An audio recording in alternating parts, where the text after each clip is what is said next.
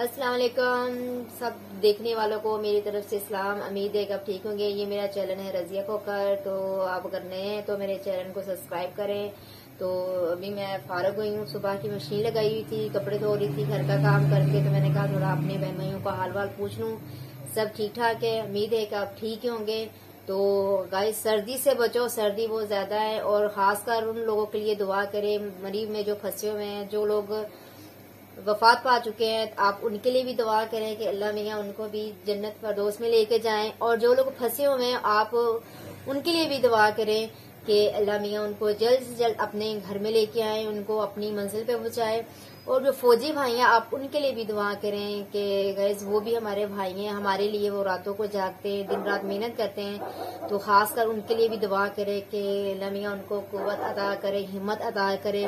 वो भी किसी माँ के बेटे हैं किसी बहन के भाई हैं तो आप उनके लिए भी दुआ करें।